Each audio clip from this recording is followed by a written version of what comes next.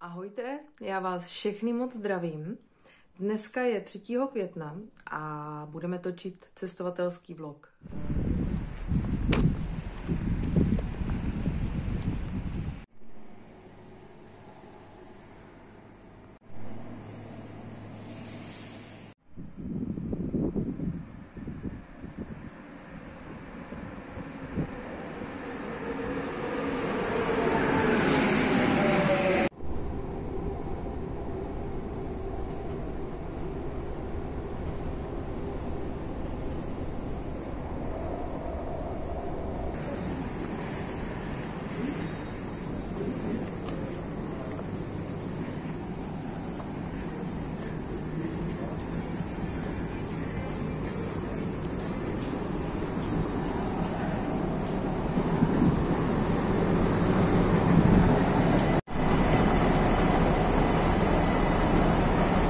Pořádku jsem přijela na hlavní nádraží ve Vídni.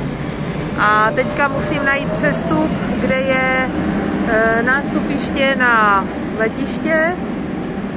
A už jsem to asi našla, takže tady, když se podívám, tak tady mám 9.40, můj přestup, Flughafen Vídeň a máme tam 9 CE a 9 CE máme tady takže bych měla být správně.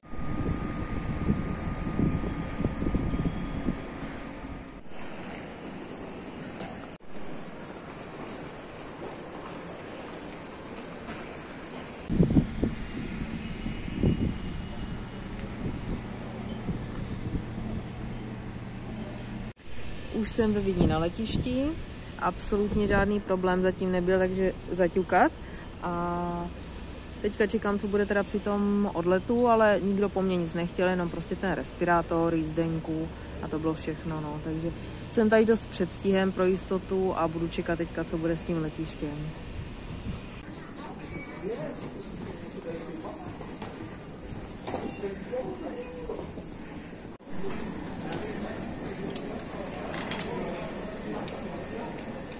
Tak jsem přistála, info po cestě, tady je strašný chaos.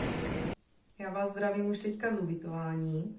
Eh, dneska už je druhý den, ale já jsem slíbila, že něco ještě doplním k té cestě.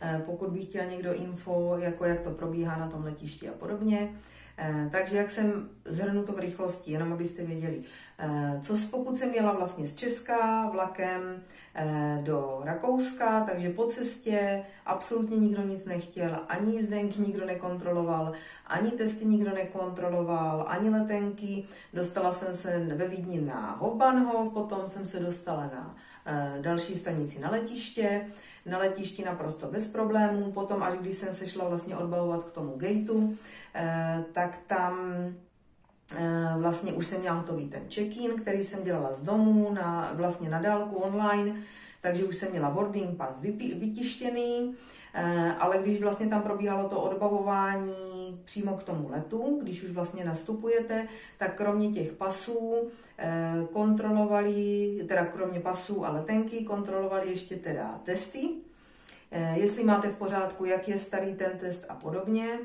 A potom tam byl vlastně ten důležitě ten formulář eh, pro Francii, takový ten prostě jako, že jste se, bezinfekčnost, jako že jste se nepotkali s nikým, kdo prostě měl kašel a příznaky a že vy se nepocitujete nemocní a takové nějaké prostě řeči, což je papír pro Francii. Ten jsem měla nachystaný ve francouzštině i v angličtině. Spoustu lidí vlastně před tím odletem to tam nemělo, takže to tam řešili vlastně s těma letuškama, byl tam docela chaos. E, jakože fakt to tam bylo takové docela, docela divoké, tak jsem měla hruzu, jak to tam proběhne. Nicméně v pořádku, normálně jsem nastoupila, jsem měla všechny papíry v pořádku, takže jsem nastoupila do letadla.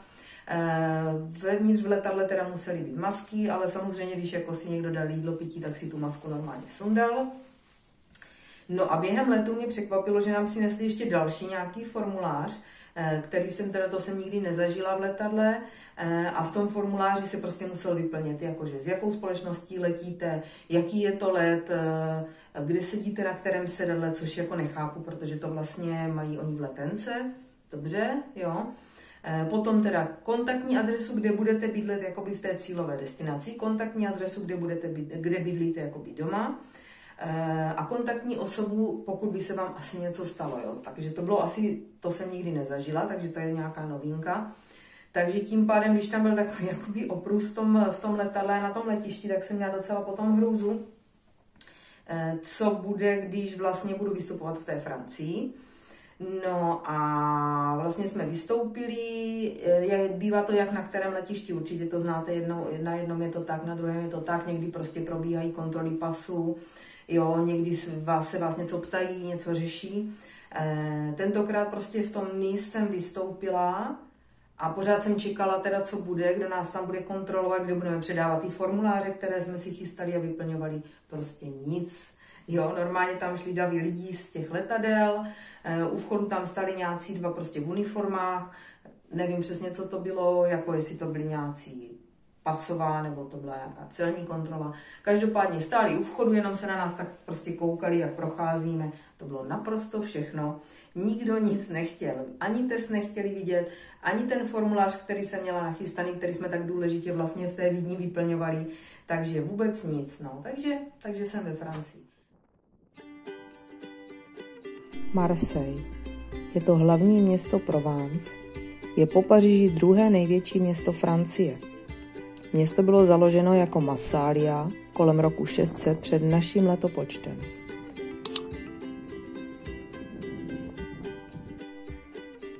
Bazilika Pany Marie Strážné Notre-Dame de la Garde je dominantou Marseille viditelnou již zdaleka – tato památka z doby druhého císařství stojí, stojí na vyvýšenině nad městem, jižně od přístavu a naskýtá se z ní nádherný panoramatický výhled.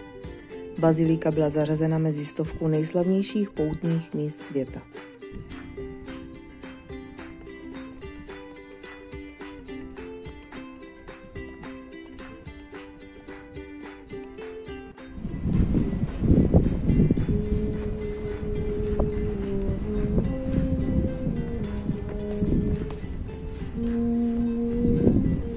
Celé stavbě vévodí ohromná socha Pany Marie Strážné, patronky námořníků, která se tyčí na vrcholku 46 metrů vysoké kostelní věže. Socha z roku 1870 je vysoká bezmála 10 metrů a váží téměř 10 tun a tak byla dobře viditelná posádkou lodí na moři. Když se lodě vraceli do starého marsejského přístavu, údajně nikdy neopomenuli pozdravit panu Marii Strážnou výstřelem z děla a zároveň tímto poděkovat za to, že dobře dopluli.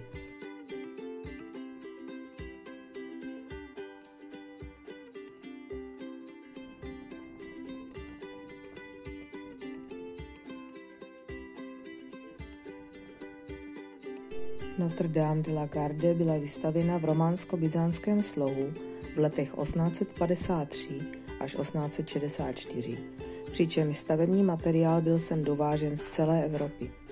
Součástí ohromné stavby je také malá kaple z roku 1214, která tvoří kryptu ústředního kostela. Interiér hlavní lodi je rozdělen obloukem, na němž se střídají pruhy z různobarevného mramoru.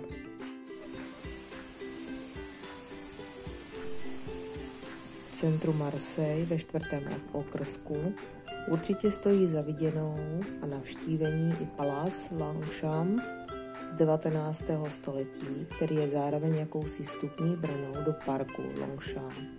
Součástí paláce je fontána a dvě palácová křídla. V jednom sídlí Muzeum krásných umění a v druhém pak Muzeum přírodní historie. Až do roku 1987 bývala součástí parku také zoologická zahrada, která byla ale z podnětu veřejnosti uzavřena. Celý komplex se dá rozdělit na dvě části. V přední části jsou ohromné fontány a krásné staré stavby, v zadní částí je klidnější park, ale v celém areálu sportu je spoustu lidí, běhají, cvičí, tančí, prostě areál se využívá, i když je to historická část Marseille.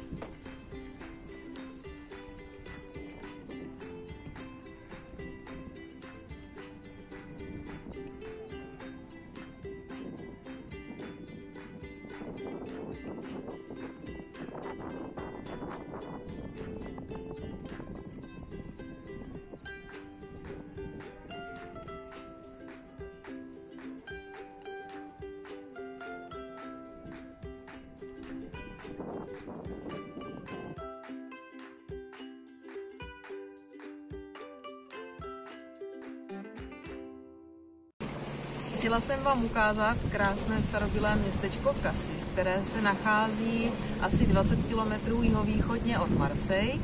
Je to přístavní městečko zhruba s nějakým 8, 8 tisíci obyvatelí a je hodně navštěvované turisty.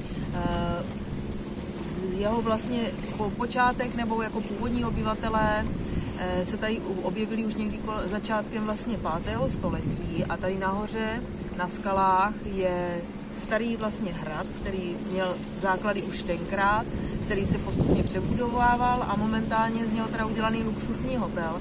A na ten teda fakt asi nemáte, nechtěla bych vám křivdit, ale tam jsem se dívala přes 900 Eček za noc, za jednu noc. Ale tak jako vypadá to tam moc hezky, no. Tak taky bych se tam ráda podívala, asi to úplně neklapne. Ale každopádně, je to teda moc krásné takové malinké přístavní městečko a díky tomu že je teďka doba taková, jaká je, tak tady není moc lidí, což si člověk docela užívá, což si užívá si teďka ve všech tady těch turistických atrakcích. No a když jsem tady byla v létě, tak tady bylo opravdu narváno hlava na hlavě, takže teď si to vlastně člověk daleko líp užije. No a kousíček o toto uh, už je vlastně ten Národní park Kalang, uh, kde bychom se taky chtěli ještě jít podívat a už momentálně kon, tady budu končit, protože tady jede nějaká lodička a není nic slyšet.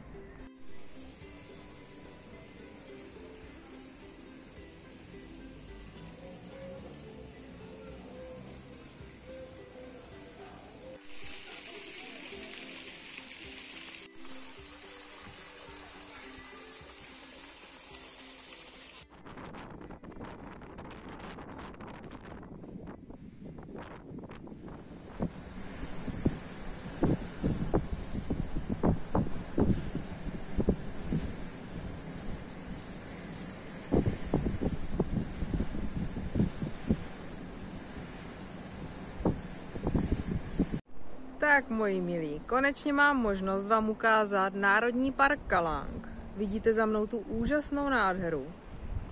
Národní park Kalang se táhne 20 km mezi Marseille a Cassis, je asi 4 km široký. A tahle nádhera se tady prostě rozkládá mezi těma dvěma. Marseille je velká, Cassis je menší městečko a můžete se tady projít. Vlastně ten národní park eh, zahrnuje jednak tady ty skály, útesy, ale i tady tu vodní plochu, to všechno spadá do toho národního parku, takže i vlastně ta vodní plocha spadá do národního parku.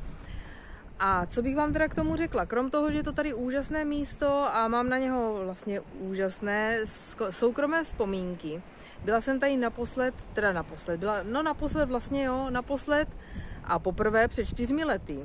Potom jsem se tady snažila dostat vlastně loní a bylo tady plné parkoviště, nedalo se tady nikde zaparkovat díky těm opatřením, které jsou teďka, tak eh, nebyl zase tak velký problém se sem dostat, takže aspoň k něčemu je to dobré, musíme brát na všem to pozitivní. A takže jsem se sem prostě dostala a chtěla jsem vám to tady všechno ukázat. Uvidíte spoustu záběrů z různých míst a čím je vlastně tady tohle místo unikátní, eh, vlastně Marseille je velká aglomerace, někdo říká, že celkem špinavé město, což je pravda, ale i starobylé město. A tohle místečko je vlastně kousíček, když vyjedete za Marseille, tak se dostanete do téhle nádhery, do téhle krásné panenské přírody, eh, která je vlastně zvláštní tím, že tady moc neprší, eh, jsou tady spíš, jako je tady suší podnebí, hlavně tady vzní, vzlíná eh, ta vlhkost z toho moře, a ta vlastně zavlažuje tady to okolí, díky tomu tady vzniká ta eroze půdy a daří se tady různým těm rostlinkám, které normálně nenajdete a je tady vlastně zvláštní ta fauna a flora a, a je to tady prostě velmi příjemné místo ke koupání i k, jako k různým turistickým výletům a tak dále.